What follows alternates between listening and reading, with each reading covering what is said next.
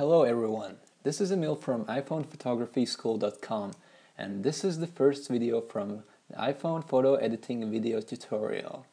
In this tutorial you're going to learn everything you need to know about post-processing your iPhone photos and yes, we are going to do this right on your iPhone. But before we get started, I want to make sure that you download Snapseed, which is the app that I have opened right now. Snapseed really is the number one app for all iPhone photo editing I use it all the time. Many professional iPhoneographers use it a lot, and it really is the best thing you can get. And the best of all, this app is now free. It used to be $5 and then it was great value. But since uh, Google acquired Snapseed last fall, this app is available free of charge, so there's really no reason why you shouldn't check it out. Okay, with that said, let's get started with Snapseed. Now once you launch Snapseed, you're going to see on that on the right side you have a photo and in this case we still have the sample image and on the left side you have all these different modules and you can scroll through them. If you change the orientation you get this view and you can also go through all the modules but for the purpose of this video we'll stay horizontal. The cool thing about Snapseed is that it's a universal app and you can also use it on your iPad and it looks exactly the same except you have a bit more screen real estate which can make photo editing a bit easier. Okay, with that said, let's get started and first we want to add a photo to Snapseed. And in order to do this, we have to press on this icon on the top left corner, which is the camera with a plus. And here we get to select image source.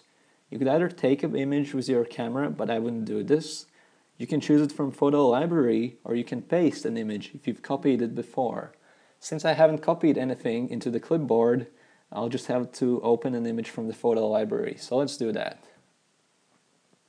And here we have see all the all the photo albums that I have. And actually, I've already selected the photo that I want to, to work with today. So I'll just select it here. I'll click on Use. And now the photo is imported.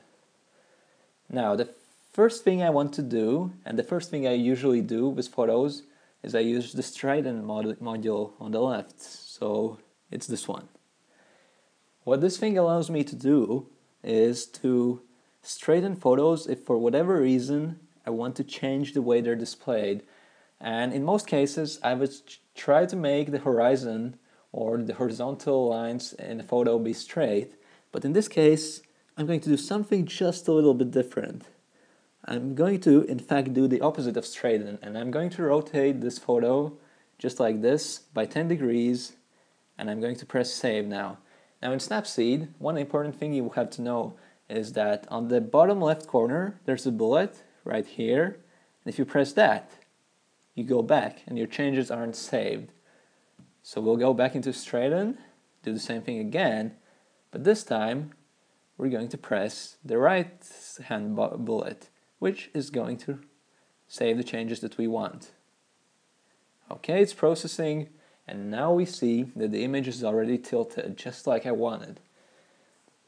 And the next thing I'm going to do is I'm going to select the crop module on the left. And by the way, whenever you're doing a lot of photo editing, I always suggest that you do it in this order. First, you straighten the horizon or make the image tilted, as I did in this case. Then you crop it, then you do everything else. It makes life so much easier for you. Now for cropping, uh, what you do is you use one or two fingers to drag the corners around until you get the perfect position. And you can, uh, in cropping, you can use this button on the right and that's going to change the orientation of the photo. But here I'll just keep what I had before. And here on the left you have another button and once you press that, you can select a bunch of different aspect ratios. Uh, since I send most of my photos straight to Instagram, I'm going to choose one by one, which is the square over here, and that will make it a lot easier for me to make an Instagram. So now, once I have this, you see that there are grid lines, and so if I want to apply the rule of thirds, it's a lot easier for me to do this. So what I'm going to do now is I'll just play around with the square using my fingers. Just one finger is, is enough here until I find what I think is the perfect composition. And let's just adjust this a little more. perhaps let's let's do this and this is already quite good just a bit more alright I like this composition a lot here you can see that I'm I am following the rule of thirds because uh, the faces of the subjects are roughly at the intersection of the two grid lines but at the same time this composition is very unusual and the tilted angle makes it uh, even more so which is why I like this picture so much. And what's also important is that I want to leave a tiny bit of the uh, shadows and of the reflections on, on the wet surface, so I'll leave that in as well.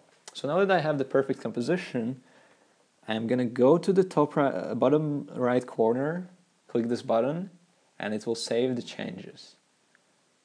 Okay, so I've done the cropping, which is the first part of what I had to do. In the next part, I'm going to convert this image into black and white, so stay tuned for that.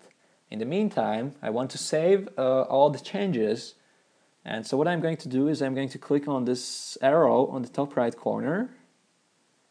I'm going to say, say what I have to photo library, and now you see the image is being saved. Now if I don't do this, and if I just close the app, when I come back, the image may no longer be there. So always keep in mind this that you want to save the changes. And I want, and actually, it's a good idea to do this as often as possible, because you know sometimes, for example, I might be able with, I might be happy with what I did here in step one, but once I do the further uh, editing, I may no longer like the result. But if I want to go back, it's good to have some photos from intermediate stages saved. Okay, thanks folks for watching. That's the end of part one, and I'll see you in part two.